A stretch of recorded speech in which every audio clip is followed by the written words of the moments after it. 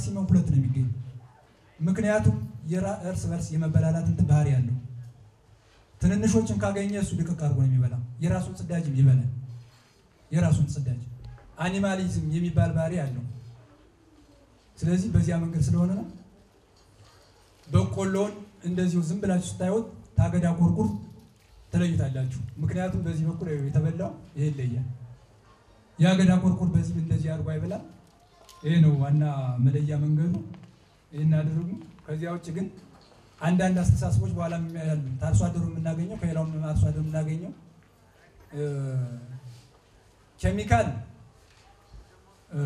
ሁለት አይነት ነው። እንግዲህ አሁን አቀላቅለን ነው የምንሄደው የለቀማ ስራም የእንትንም ስራ በኬሚካል የማንከላከልበት ደረጃ ደግሞ አለ። ሁለተኛና አንደኛ እድገት ደረጃን ታለፈ በኬሚካል አናገኘውም። ምክንያቱም ይችን በልቶ የሚደበቀው እዚህ ውስጥ ነው። ኬሚካል በምንረጭበት ጊዜ ይህን ነው እንጂ የምንረጨው እሱን አናገኘውም። ቀጥታ ኬሚካሉ ሰውነቱ ላይ ካላረፈ አይገለውም።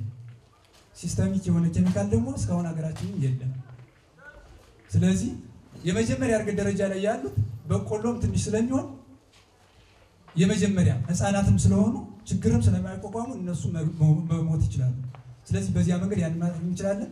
ከዚያ ውጭ ግን ይህንን ከሁለተኛ እድገት ደረጃ ካለፈ በኋላ ግን የለቀማ ስራ ብቻ ነው የሚያዋጣ። የለቀማ ስራ እዚህ ላይ ስንወስድ ሁለት ጥቅም አለው። የለቀማ ስራ መጠን ስለምንቀንስና በቆሎ እያለን ስለሆነ በዚህ መንገድ መሆን አለብን። ለአርሶ አደሩ ግን ታስተላልፉ ለማንኛውም ለሴክተራችሁ ባለሙያ ለአጠቃላይ ለቤተሰቦቻችን እናስተላልፈው እያለ እያየ ነው ያለ ይቻላል የሚለውን ህዝብ መቼም አይናችን እያየ ዝም ብለን እያየን ራብ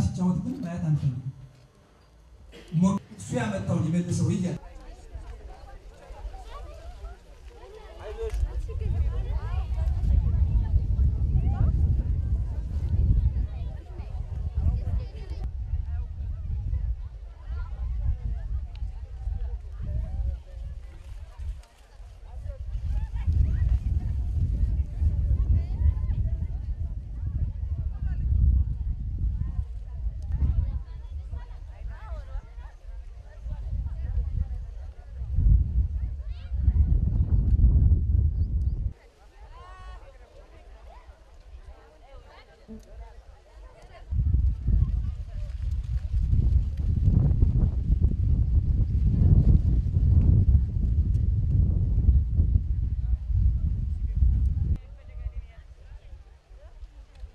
ሀያ አራቱም ሴክተሮች ተቋም ዘግተው ወደ አካባቢው በመሄድ ዋናውና ትልቁ መከላከያ ዘዴ ትሉን በመልቀም መግደል ስለሆነ እሱን ለማድረግ እነኛ ሀያ አራቱም ሴክተር ዘግቶ ተቋም በተከሰተበት ቀበሌ በመገኘት የመልቀምና የመግደል ስራ እየሰራ ነው። ከዚሁ ጋር ተያይዞ ወደ ሌሎቹ ቀበሌዎችም ሊሰማራ ስለሚችል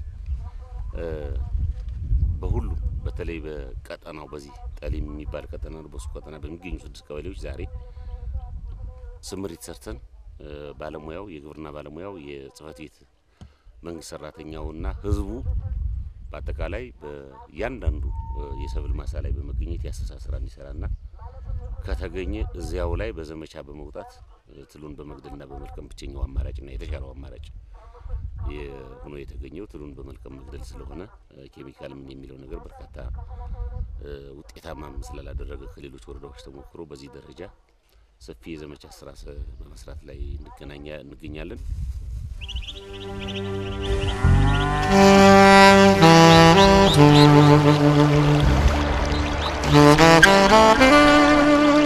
Thank you.